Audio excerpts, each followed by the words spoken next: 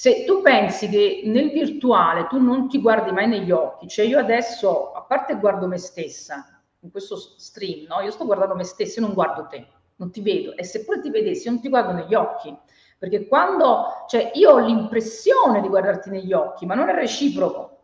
Cioè il guardarsi negli occhi, che, è, una, che è la base dell'empatia, online non è possibile. Allora immaginiamoci bambini cresciuti così, con questa grande, questo fortissimo elemento virtuale onnipresente, anche con la didattica a distanza, eh, queste saranno persone con una psiche diversa da chi invece si è rapportato della tridimensionalità, guardandosi negli occhi con, con il prossimo, no?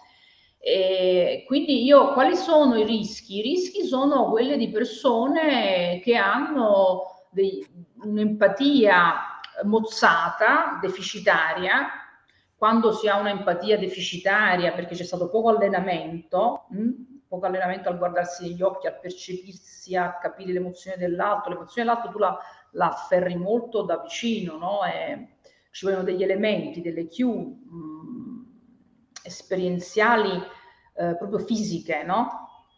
E questa, quando c'è questa questo depauperamento emotivo nascono tutta una serie di problematiche nelle relazioni e, e, e soggettive.